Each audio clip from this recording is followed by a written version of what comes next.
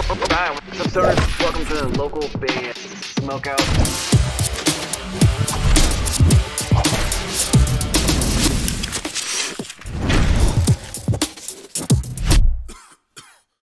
Ladies and gentlemen, Craig Mabbitt in the building!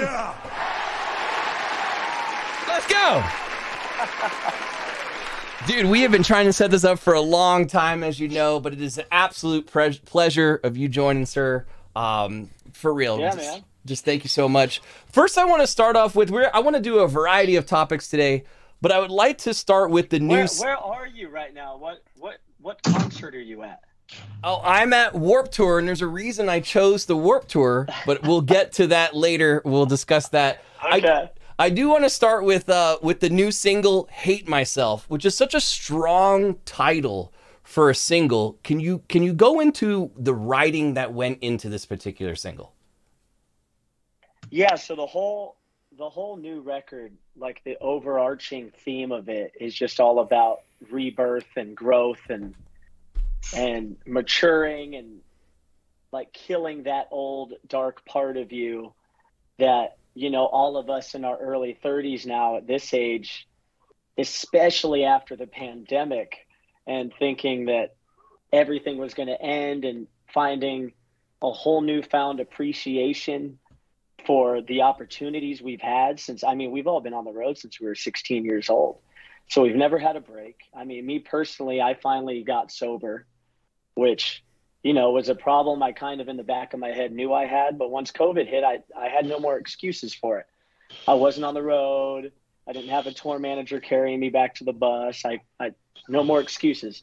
Oh, you know, they bought me too many shots at the bar. My bad. It was just me and facing myself and looking at myself in the mirror and realizing how much time had gone by. So, with that being said, when we were writing this song, the very first line of the song that ended up not making it to the final version was I'm a piece of shit is how the song started off. And so that kind of was the basis behind it. Um, but it was also a coy way of finding strength within yourself because when you hate things about yourself, you have to learn how to love yourself to not hate those things anymore. So the person I'm talking about hating more than myself is that other side of me, the the part of me that wasn't me. You know, the part of the parts of me that I needed to kill to uh to mature and move forward in life in a happier and healthier way. So so when you say a darker themed album, we can kind of expect similar lyrical content for other tracks on the upcoming album. Oh, for sure. There's there's some tracks that don't necessarily go to that realm, but a lot of them, a lot of them do. Is the overarching theme of it. So that's kind of what we based like I'd say a good 80 80% of the album around.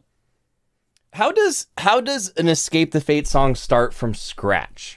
Like take me to to the jam room and the, all the boys are hanging out and it's time to write a new song. So this one we just all got together at, at Eric's studio and we just kind of vibed off of each other. But how we've always worked is everyone kind of works on some ideas.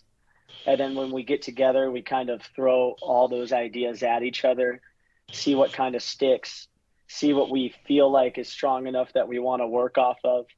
And a lot of the times it's it's usually the guys that come up with the music that I'm constantly bugging, like, hey, send me a Dropbox link of all the songs so I can get to work on some vocals. Um, but every now and then, you know, like for example, the I Am Human record, that song it was just a voice memo I had. So I had the melody, I had the lyrics, uh, and I sent it to Thrasher at the time. And he was like, I love this. Let me build a song around it. It's interesting. So that's kind of how all the albums work. Okay. Uh, uh, my co-host is Lizzie, Queen Lizzie, and I'm going to let her g- uh, get a question or two Hi, in a second. Uh, Hey. Lizzie D. b- before I do, you actually segued into something. Uh, uh, I've seen Escape live probably five or six times. You always kill it, brother. But I, I didn't see you. I didn't see Thrasher, and there was like there's an internet rumor of why or why not he's not in the group. But I'm just curious, why is he not in the group anymore? So it it was very weird for us, especially given our history where you know people are kind of up in arms and and quitting the band for weird reasons and things of that nature. But this time around, it was not. He never quit, and the band never kicked him out. It was kind of just going back to the COVID thing, which my God, I hate bringing it up and talking about it still. But um, Travis Barker ended up having Kevin come in and work in his studio, and Kevin kind of cemented himself in that position, and it's a passion he's had producing and working on music for a very, very long time. And so once touring started opening up again slowly, he had all this work on his table still in the studio. And so it got to the point after touring for almost two years straight after the pandemic with Maddie, where we started talking about we need to start working on a new album. What's going to happen with the, you know, updated photos and updated videos, like what's going on. So when I brought it up to Kevin again, he's like, "Hey man, wherever you guys need me, I can be there. I just can't, I can't do the grinding and the touring all the time anymore." Um, you know, and when it came to that point, it was just kind of a natural separation. So the last I had asked Kevin about it, I said, "Do you want to include a quote or something? You know, maybe when the band posts the new group photo with all the official touring members and all everything like that, would you like to include a quote so that everybody knows everything's kosher?" And he's like, "Well, what kind of quote?" I'm like, "Well, exactly what I'm saying, like the fact that you're focusing on on your new marriage and your new baby and and being in the studio and what kind of albums are you working on? And obviously there's no bad blood. I'm sure the fans would like to know you know for sure there's no bad blood. So i think a quote would be good to provide them and he just never sent over a, a quote and so now it's uh you know it's just like a a like on a post here and there and a reply to an instagram story here and there and you know the etf grind continues from our end Absolutely. Lizzie, uh, what question do you have for Craig? Um, I wanted to start off with your Twitch community um, and your Discord community. I've been following you there myself for I think it was like a year um, awesome. that my sub was, um, and then just recently joined the Discord. But I love your your community um, between yours and Rob's. How they all kind of mesh together really well. Um, yeah. How has that helped you as far as touring and meeting, you know, all these people from the internet all of a sudden like they're real like how does that help you um with your like the morale of touring and stuff oh it it, it helps tremendously in in so many different ways i mean number one for me personally I, what what the hell else was I going to be doing during during all that pandemic stuff? You know what I mean? So it was a way to keep in touch with the fans um, and just have something to do, and especially going back to I said I I got sober during the pandemic, and in April I'll be three years. That helped a lot because when I sit there by myself and I get stuck in here for too long, that's the worst place to be. So if I'm being active I'm, I'm surrounded by a positive community and I'm, I'm doing something I've always loved doing in the first place, aside from music, which is playing video games, then it's a tremendous help. And even when I was nervous about getting back on the road because of all that stuff, it's helped in that way because I just bring out my laptop and I just stream all day before before sound check and then the show and you know sometimes I'll try to go live on my phone and I just try to keep it going out on the road, and it, it really, really helps. And in return, I get people telling me that, hey, I love this community. It's really helping me. And, you know, the AA meetings I go to, that's, that's what sobriety is all about is being of service to others. And sometimes helping others is how you help yourself. So it's, it's all love. And I'm, I'm so grateful for Twitch being a platform that people can find each other and create communities on. And it's so funny that me and Robert's respective channels mesh with each other because me and him are such polar opposites. yes. but we come to, we come together in the band and it's it's funny because our the community can see that we're polar opposites and it's funny. We're like an old old married couple that hates each other but will never leave each other and loves each other at the end of the day. You know what I mean? That is hilarious. Right. Speaking speaking of video games, uh, you get you released Dead by Daylight, and I'm just curious what it was like to work with your son. Was that the first time that Oh, you it had had him involved in your music? Yes, that was the very first time. Um, well, no, I, I can't say exactly the first time. Um, she was in the studio at a very, very young age, like giggling before solo and zombie dance. Um, and I always snuck it into the lyrics, like "It's just me" on the This War is Ours album. Um, I say, "Layla Rose, you're my soul," and that's you know that's not what she likes to go by anymore, but that's fine. But I've always tried to tried to include the kids in what I do because it's music was always my dream and, and something that I wanted to be involved in and accomplish. And I feel like I was able to do that. Although I feel like sky's the limit and there's still a lot more I want to accomplish. Um, you know, that kid in his room that didn't think he would be able to do what I've been doing for the past decade if my kids ever feel that way, I want them to know that you you can do anything that you want to do Hell in yeah! life. You just got to set your mind to it. So, although music pulls me away from them a lot, I hope that they can see, you know what, I can do anything in my life because my dad showed me that I can. And obviously, if music pulls me away from them, I'm going to include them in it as much as humanly possible, you know? That is awesome advice. I have a I have a little bit of an old old school question, but that's why I have the Warp Tour photo behind me. I've I've been a Bless Yeah. the Fall fan for many years. His last walk is one of Dude, my I top. couldn't get my PC. I couldn't get Microsoft Teams to work on my PC, so I'm on my phone. So I just have a green screen. That's all good. It works. I have a cool background. It's, it's all good. No no worries. Um, but yeah, his last walk is one of my favorite albums of all time.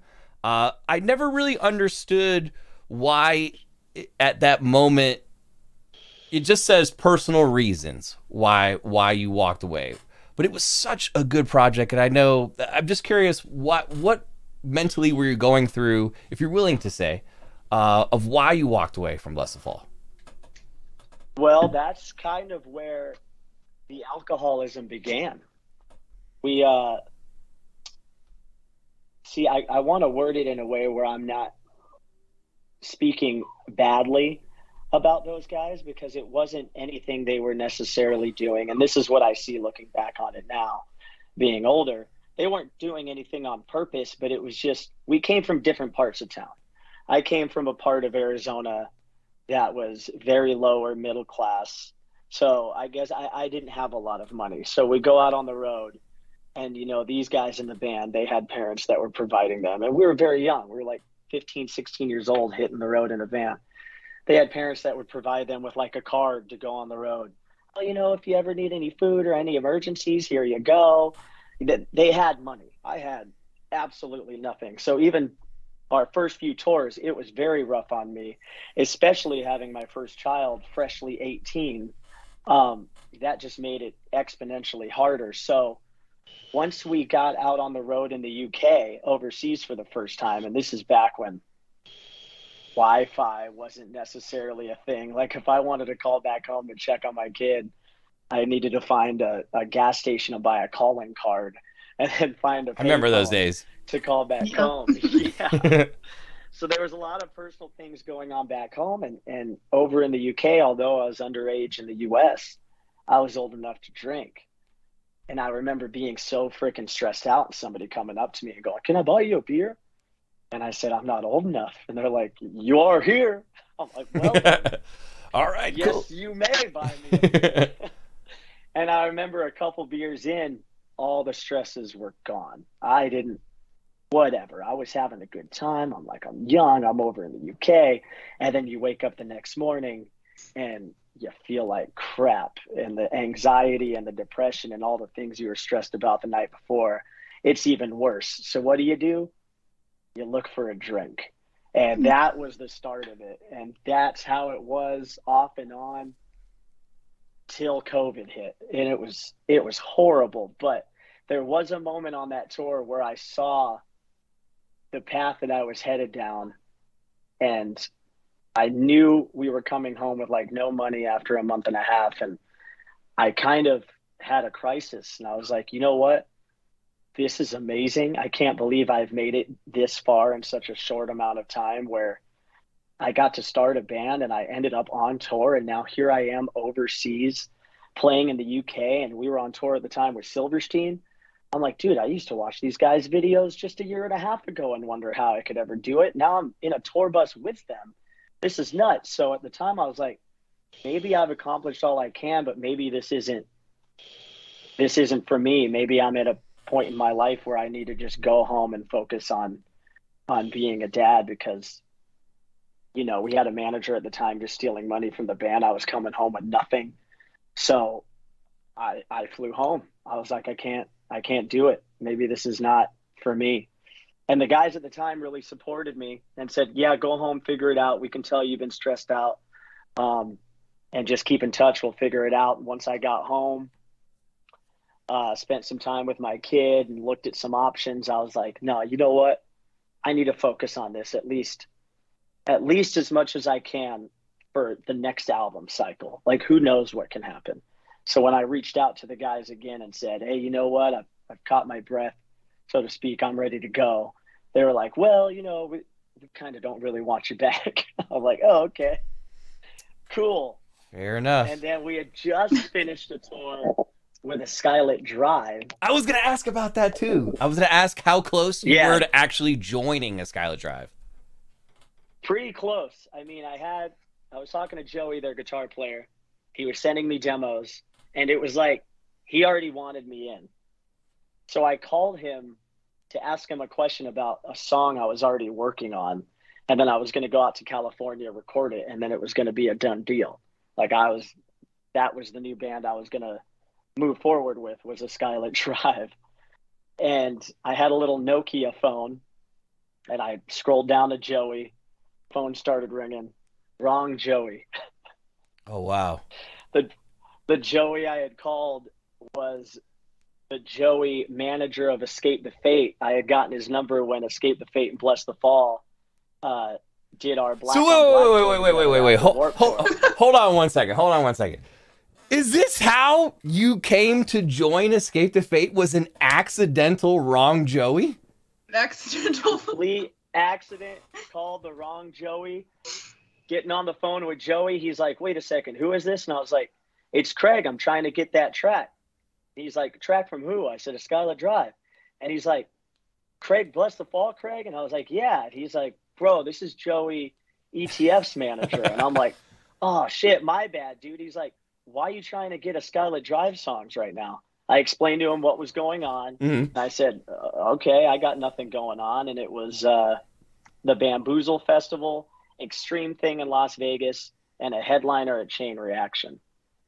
So I was like, all right. He flew me out to Vegas. I rehearsed with the guys. We played Extreme Thing. The guys were really, really excited about it. We played Bamboozle. I like did this ginormous jump off the stage that you can still find on YouTube. And I remember they were doing an interview after the show, and I was kind of just standing in the background to watch them do it because I'm not in the band. I'm not going to do an interview. Uh, and the interviewer said, "So is is Craig the new singer? Are you guys moving forward like this?" And I remember my polar opposite, Robert, is the guy that said, "Yeah, he's in if he wants to be in. We want him. This is this is how we want to move forward." Wow. And then everything Aw. from there just even more weirdly fell into place because getting invited out there to perform, then them wanting me to be in the group by complete accident or or fate, if you will. Um, John Feldmann had heard about me joining this group. So now John Feldmann, who's now my brother-in-law, um, finds out that I had joined Escape the Fate, and he had come out to the Key Club to see that Black on Black tour. And I guess he left that show going, uh, there was something about that singer that I really, really liked, but there was something about that band I really, really liked. And that was it. Like he left the show, oh, yeah, that singer was pretty good. That band was pretty good. Once he found out that that singer had joined that band, he was he called up Joey, the right Joey, and he said, I want them to come into my studio immediately. I want to be the guy that does the album. So within a month of Robert saying, "Yeah, we want him in the band if he wants to be," we were in a van driving to California to to do what ended up being "This War Is Ours" with with Feldmann. That's amazing. So it's and- kind of like everything happened so quick, by chance, by accident, by fate, whatever you want to call it. It was it was pretty nuts. Other Joey, who's our friend from a Skylit Drive, is probably like, "What the f- Craig never called, man." That's hilarious. Craig, He's like, "What an what an asshole." Lizzie, I'm going to let you ask another question here in a second, but Craig, did you bring any hot sauce? oh yeah, hot sauce. Hold on, give me two seconds. Let me go. I'll take Before before you grab it, before you grab it, uh, we we do a trivia segment. I want to know what movie or TV show have you seen the most? Where if I ask you trivia on this movie or TV show, it's impossible to stump you because you've seen it so many times. Ooh.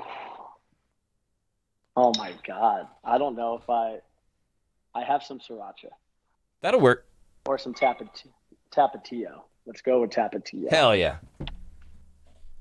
Um crap man, I don't know if I'm familiar enough with anything at this point where I'd be able to answer like every obscure question about it. I'll keep them somewhat easy, but l- let's just say like your favorite movie of all time. My favorite movie of all time? Ah, dude, I'm one of those people that can never pick just one.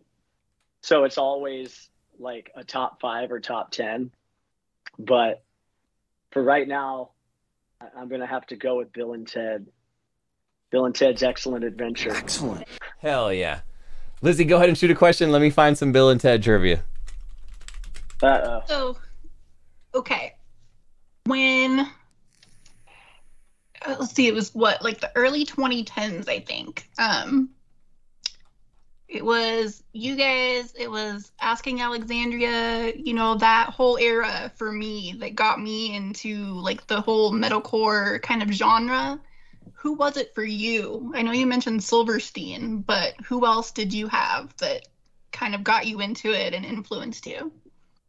the bands that got me into it um growing up i was into like aerosmith queen journey motley crue uh getting a little bit older i was into 50s rock and roll which is why i ended up playing the saxophone in high school um and then was really into hip hop for a while and then Linkin Park came out and Yep. linkin park was like the best of both worlds in my mind Mm-hmm. loved Chester's voice, his heavy vocals. Oh my God. And he was the segue into the first band that really opened up my horizons to all the bands that I ended up loving and wanting to be in a band today was the used. So it was Chester and Linkin Park that led me into Bert and the Used that just led me into the rabbit hole. And then, you know, from there it was Under Oath. And then I wanted to get into some heavier bands and it was like as it lay dying and it dies today i used to jam that record front to back every single day and then you know then i really wanted to be in a band and within like a year of starting a band i was just out on the road been on the road ever since Can you still play the sax? Very cool. I don't know i haven't tried It'd be cool to bust i out could a probably little still play it but little play lick it well, real quick. not sure yeah Let's try it. sit down with it Let's try some Bill and Ted trivia. I'm gonna keep it relatively easy, I think. In Bill and Ted's Excellent Adventure, can you name either one of the princesses that they pick up at the at the in medieval England? oh my god i think An- anna princess anna What do you what do you think the second second one's name is? they always just call them the princesses, so it's so difficult. I'm gonna give it to you. I'm gonna give it to you. It's Joanna. Yeah. Joanna. So I'll give it to you. I'll do the hot sauce. Mount Fuji Magma is what I have chosen. Um, I, before I do it though, I, I we always have more questions. sauce? Yeah, so I have to drink it now because I couldn't stump you. But um, Nice. I- I know there's been talks of doing an actual Craig solo album, like a self-titled album over the years. Can we ever expect that? Not a Dead Rabbits, not Escape the Fate, just a Craig solo album. Yeah, for sure. I just need to, um, you know, I need to find the right people to make it and and decide what I want it to sound like. You know, Dead Rabbits kind of started off as when I flew out to uh, Caleb's place in Ohio. Uh, Caleb Shomo, he did the first Dead Rabbits EP, right when he was like forming Beartooth and working on some of the first songs that would ultimately turn into the monster that Beartooth is, and I'm so happy for him. Um, that started off as a solo project, but the music just and ended up coming out heavy full band thing. And I remember having a conversation with Caleb. I'm like, no, I need to think of a band name because I I imagine myself on the road with a full band, walking out on stage with a with a backdrop that just says Craig Mabbitt's really weird. like, I don't think I'd be able to do that. That's that's bizarre. Like, it might as well just be a band. And he's like, yeah, whatever you want, man. So now Dead Rabbits is Dead Rabbits, but yeah, I really want to do something. I want it to be a lot different than what I usually do, and uh, I'm getting closer and closer to figuring it out and figuring out who I want to work with. Um, and you can tell by how many DJs I've been guesting on lately. So I think I kind of want to go go a route like that. Really? So it wouldn't be like it would. be I'm sorry. I didn't mean it's got to be completely different than what I do in in any of the groups I've been in or still am in. because You know what I never mean? Never be, be is really different from from all the other projects that you're involved in. So I was just wondering if it was going to Yeah. have like that kind of sound. that that I liked that one a lot, but that still ended up being a little too just acoustic rock, which is not what I would want a solo album to sound like. You know, and even that Never Be song, I'm like, ah, you know, I kind of even did that with Let Me Be with ETF or Harder Than You Know or, or you know, songs like that. So just trying to trying to narrow it down and get it right. I got you, Lizzie. Go ahead and uh, shoot off another one. What were some of the, I guess, reject names when you were coming up with the Dead Rabbits name? Because Dead Ra- Rabbits is kind of a oddly specific thing. So, what were some of the other ideas you There had? was there was no reject names. That was the first one. It was when I was That was it. Yeah, when I was thinking of band names, I was like, nah, Dead Rabbits has got to be it. Because yeah. still to this day, still to this damn day, I will see an interview or a flyer or something for promotion, and it's so easy for people to spell Mabbit like rabbit mm-hmm. because rabbit is R A B B I T, just one T. My last Yep. name has two T's. So when I thought of Dead Rabbits, it, it made a lot of sense because people always spell my last name like rabbit anyway. I was watching Gangs of New York all the time at the time too, and I love that movie. That's a gang in the movie Dead Rabbits. Um, and I was born in the year of the rabbit, so when I thought of the name, I guess the only reject name I could say was a reject was the correct spelling of rabbit because Dead Rabbits is also two T's. Yeah, I'll So take I it. went ahead and just spelled rabbit wrong. as as someone that, that's also heavily tattooed like yourself, are you planning to ever do the throat right in the Adam's apple area? Oh yeah, at some point. I just want to get more of my body covered before I start moving up up the throat and stuff like that. Are you a sports fan? No. No, no sports at all. Not even football. Nothing. No, not really a sports guy. I mean, I'll go to sporting events and I'll have a good time. That's and cool. like I'm able to sit down with other sports fans when they're watching like the big game, the playoffs or the Super Bowl. And I could get into it and be like, so who you going for and root for the other team. But, They're like you, you know, bastard. like Robert, for instance, he does all the fantasy football stuff Yeah, yeah. and gets really into it. Knows knows every player's name and their history and their background and every injury that they ever have. Or I just I'm one of those people too. I'm obsessed Never- with, with football. never been me. Yeah. What What are you afraid of? Do you have any phobias? Oh man, I feel like I have too many phobias to list. It's one of those things where it's like I have anxiety about having anxiety and I overthink my overthinking and I have a Mhm. fear of of fear. You know, it's so stupid, but that's just always how my brain has worked. Um but I guess a more common natural fear that I can say is flying. I don't know why or when I developed a fear for flying and I have to do it all the time for tour, but it just randomly happened. Like every now and then I'll have to just sit there, close my eyes, my hands will get a little clammy and I'll just like say a little prayer inside and just be like, I, you know what, if this is it, this is it, I guess. So we actually had uh, this is kind of a serious question. We had uh, we had Max Green on last week, and he was an absolute delight. I know that you guys are still somewhat close. He went on uh, the tour recently.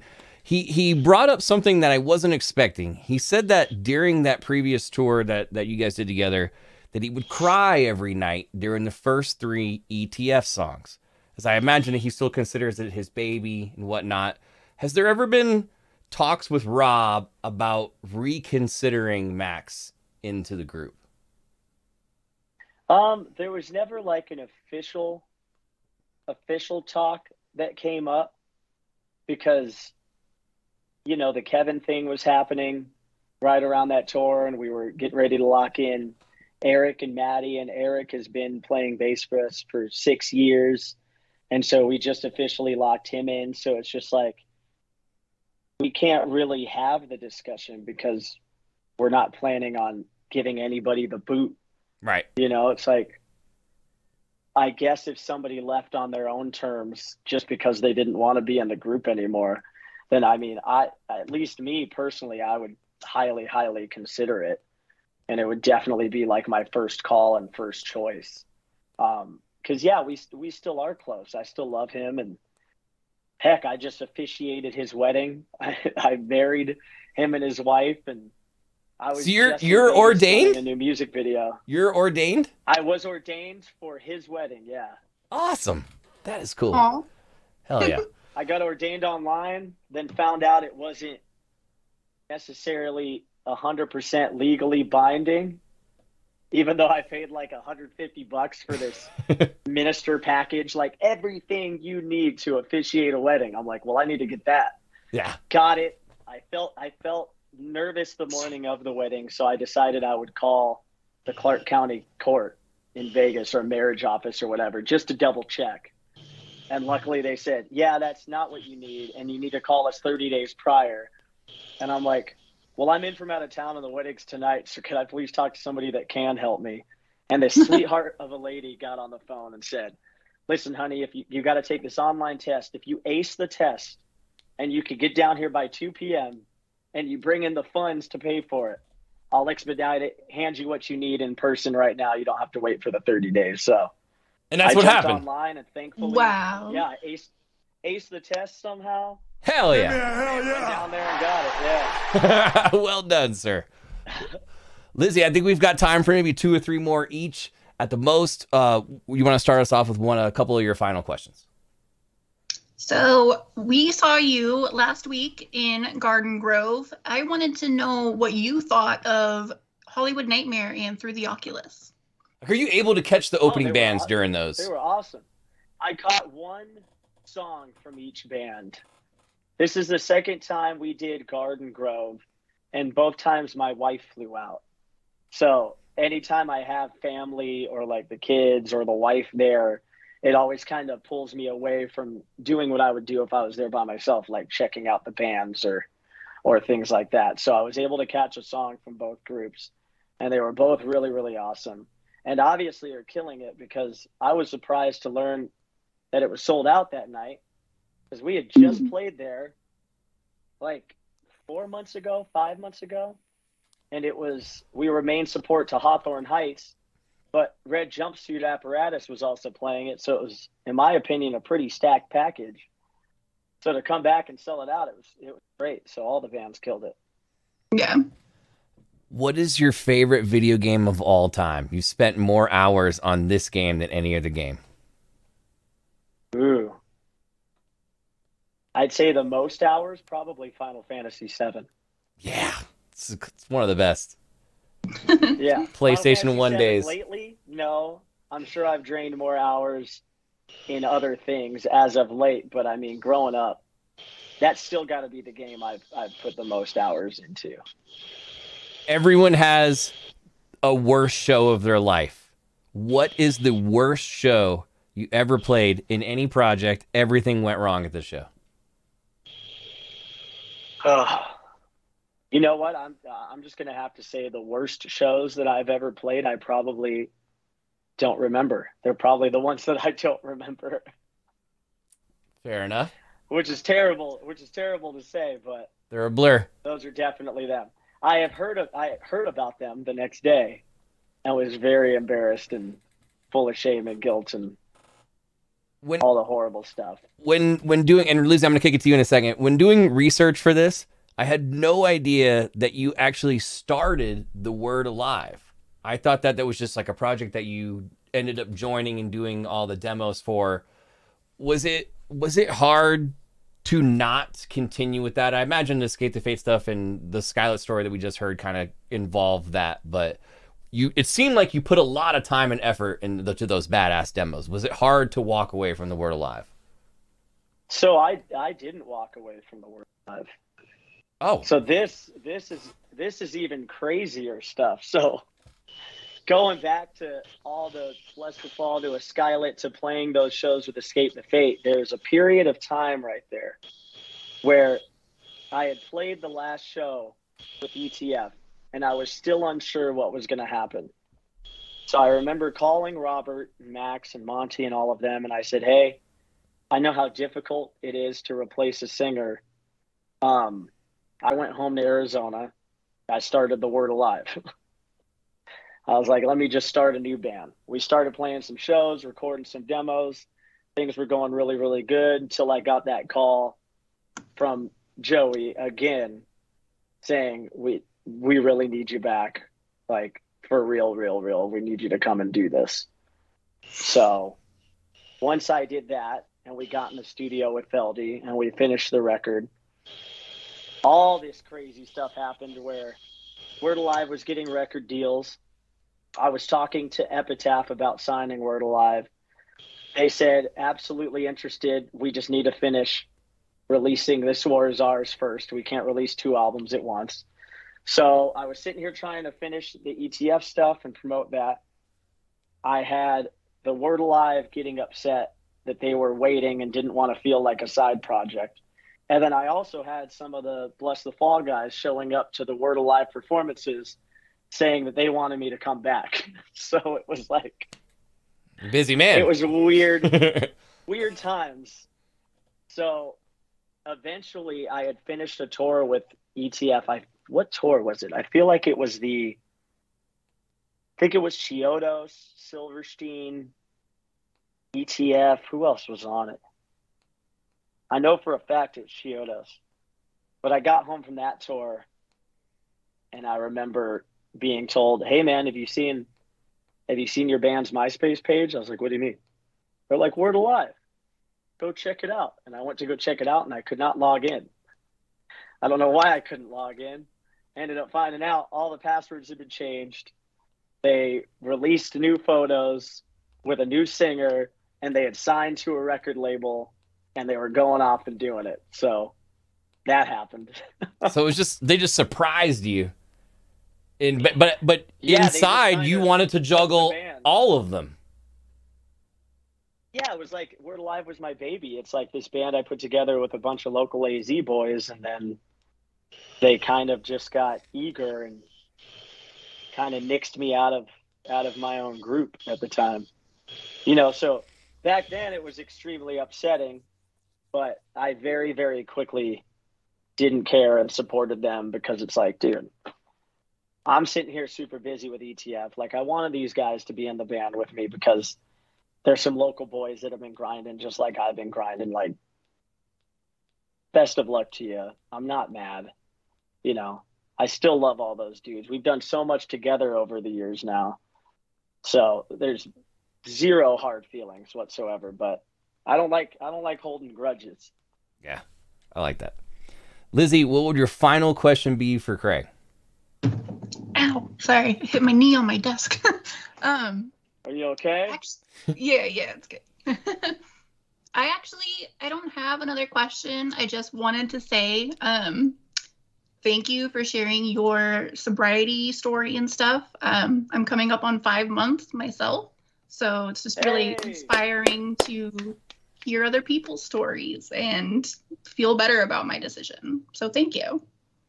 Well, you should feel very proud of yourself because those first those first few months are the hardest. Yeah, definitely. So it definitely gets easier, and you'll just continue to feel more and more and more proud of yourself. Thank you. It's a lifelong thing, though, so stick with it. You know. Yeah. Hell yeah. The first few months are the most difficult, and then you start you start remembering why you began doing what you were doing in the first place. Because they always say it's not the drinking or the using that was the problem or is the problem.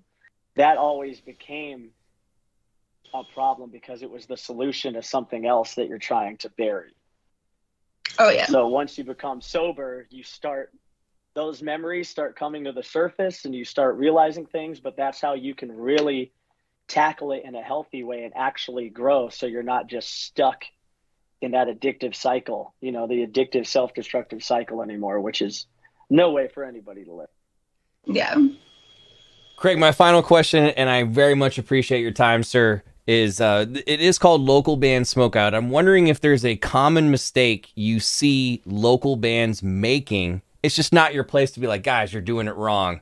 But but what advice would you be would it be to uh, a smaller band that's trying to eventually get to your position? Um, I would say just, just I guess know your place.